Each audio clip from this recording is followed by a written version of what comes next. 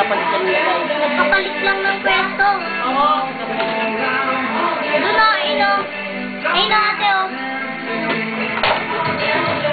Alisin mo pa rin sana yan. Alisin mo na. Tama. Ano, second baboy. Naku, baboy natin. Iniwan natin sa labas. Ah, oh, ayun. What?